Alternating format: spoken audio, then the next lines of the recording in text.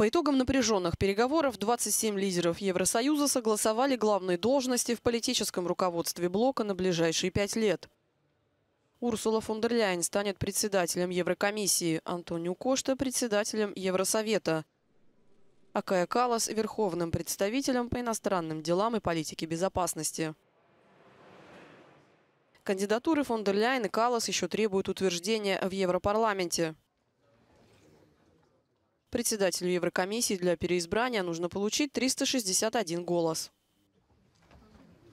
I would plain and simply like to express my gratitude to the leaders who endorsed my nomination for a second mandate as President of the European Commission. And I'm very honored and I'm delighted to share this very special moment, hopefully soon on screen, Antonio Costa, but also my dear friend Kaya Kallas. Переговоры между центристскими партиями возмутили тех, кто остался в стороне, в частности, премьер-министр Италии Джорджу Мелони, которая обрушилась с критикой на процесс назначения, который, по ее словам, не учел рост ультраправых сил по результатам европейских выборов. Она воздержалась при выдвижении фон дер Ляйен и проголосовала против выдвижения Кай Калас и Антонио Кошты. Есть опасения, что ее отказ – признак грядущих неспокойных времен для ЕС. Um, and I think it is very important to work well in the European Council uh, with the Prime Minister, with uh, Italy, uh, like with other, all other member states. So this is a principle for me that, which I followed all the time. The next hurdle for Ursula von der Leyen is the trickiest. The votes in the European Parliament for her re-election are wafer thin and nothing is guaranteed. She said she wants to work with the coalition of the Greens, the Socialists and the Liberals, but she'll likely have to look further afield to potentially the far right, led by Giorgia Meloni, which will upset the coalition. It's a secret ballot, and if she loses by even one vote, it appears there is no plan B. Shona Murray, Euronews, Brussels.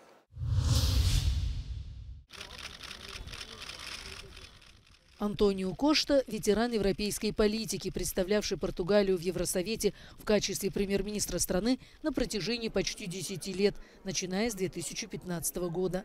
После выборов в Европарламент в 2019 году политика социалиста выдвигала в председателя Евросовета тогдашний канцлер Германии Ангела Меркель, но он отказался. Коррупционный скандал с участием членов правительства Кошты привел его к отставке в ноябре 2023 -го. Но обвинений против премьера по этому делу так и не было выдвинуто. На социалистическом конгрессе в Риме в марте прошлого года Кошта выступил в качестве потенциального кандидата на высший пост в Брюсселе.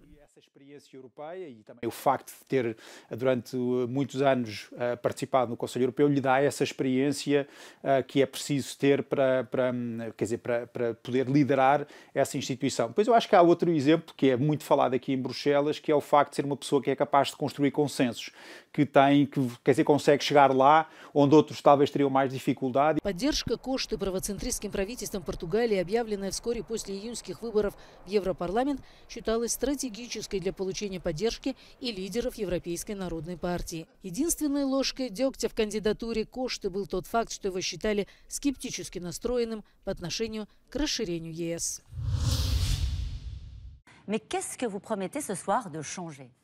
Война в Украине стала доминирующей темой на теледебатах во Франции. За три дня до первого тура парламентских выборов в эфире встретились лидеры трех ведущих политических сил.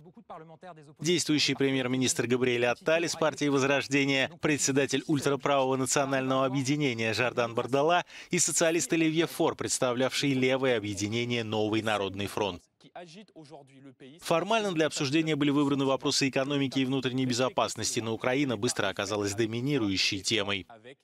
Жардан Бардала заявил, что не позволит российскому империализму поглотить союзную Украину, но исключил возможность отправки французских солдат на войну. Donc ma position, elle est très simple sur ce conflit. Je l'ai défendue tout au long de la campagne européenne. Elle n'a jamais varié.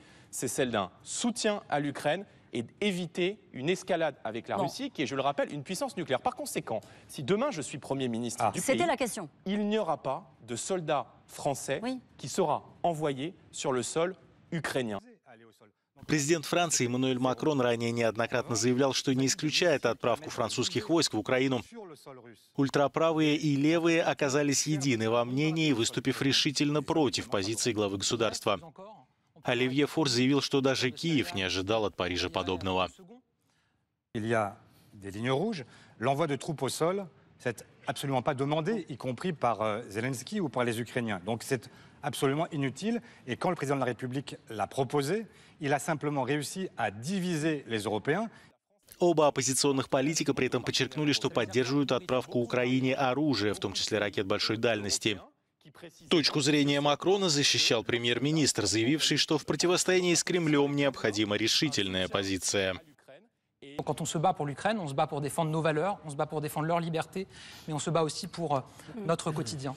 Ce que le président de la République a fait, c'est qu'il a simplement rappelé que face à un Vladimir Poutine qui ne fixe aucune ligne rouge, si nous commencions par nous fixer des lignes rouges, alors, alors, nous ne rendions pas service à l'Ukraine. C'est la seule chose qu'il a rappelé.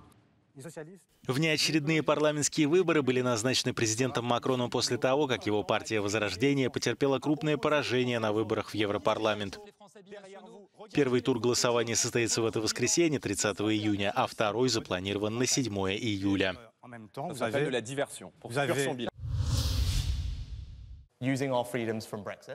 Великобритания готовится к парламентским выборам, которые, по мнению аналитиков, могут положить конец 14-летнему управлению консерваторов. На победу рассчитывают лейбористы.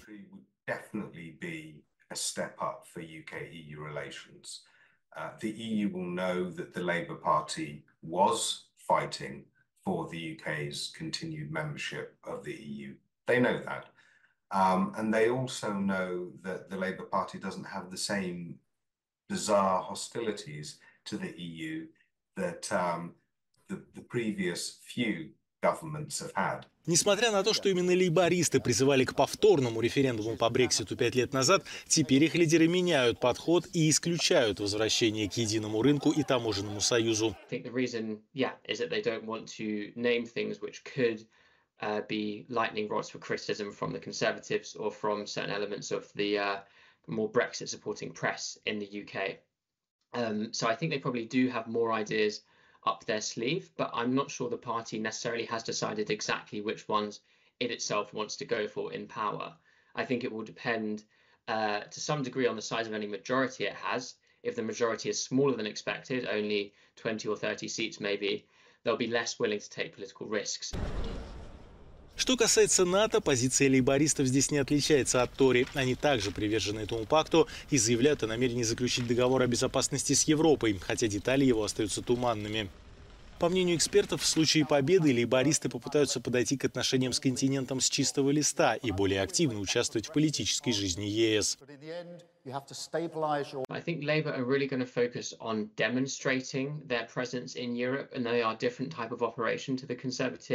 If you look at their rhetoric, there's a lot focused on meetings and presence and public engagement. That's really what this security pact is actually all about. Если лейбористское правительство придет к власти, ему придется вести непростые переговоры о возобновлении ведущей роли Великобритании в Европейском Союзе. Причем придется учитывать как требования Брюсселя, так и интересы значительной части электората, проголосовавшего за выход Великобритании из ЕС.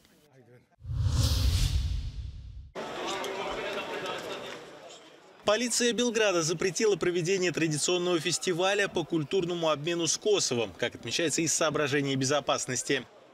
Фестиваль проводится в Сербии частично признанном Косове уже 10 лет по инициативе молодежной группы, стремящейся преодолеть этнические разногласия. В этом году на фоне обострения отношений между Белградом и Приштиной на месте проведения ярмарки собрались группы националистов и ультраправых. Полиция потребовала от них разойтись, но и участников фестиваля также решили не пускать в город.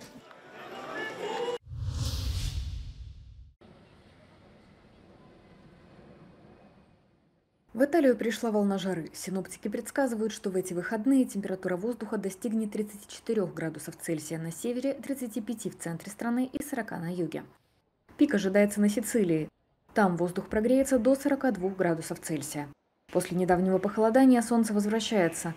В некоторых районах температура поднимется сразу на 15 градусов. При этом итальянцы привыкли к жаре и уже знают, как с ней справляться. Chi lavora deve stare, deve sopportare il caldo, siamo a luglio, farà tanto caldo come ogni anno.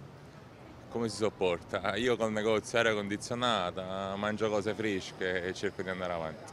Persone anziane, eh, scendere poco, eh, l'indispensabile. Eh, chi è costretto a scendere per strada deve bere molto. Chi può se ne va a mare e si va a fare una bella rinfrescata. Местные органы здравоохранения подготовились защищать уязвимые группы населения. Особенно часто в отделение скорой помощи обращаются пожилые люди с тепловым ударом. Abbiamo aumentato le ore di disponibilità 7 giorni su 7 dalle 8 alle 20 per i codici in bassa complessità nei pronto soccorso. Abbiamo garantito 4 unità di continuità assistenziale di notte nei giorni festivi. Для пожилых людей также будет доступна бесплатная горячая линия, по которой они смогут обратиться за помощью и советом. Даже небольшие меры предосторожности могут предотвратить тепловой удар. Sicuramente tanta acqua, frutta, che comunque un po' di zucchero non guasta e niente, ventaglio, che dobbiamo fare? Aria condizionata sì, ma nei limiti perché poi dopo viene mal di schiena e altri problemi. Evitiamo. Dopo qualche esitazione il caldo, quello vero, è arrivato anche in Italia e soprattutto nelle regioni del sud raggiungerà anche i 40 gradi. Sembra scontato dirlo, ma parecchi non prendono le dovute precauzioni. Prima fra tutte, bere molta acqua. Luca Palamara per Aeronews, Napoli.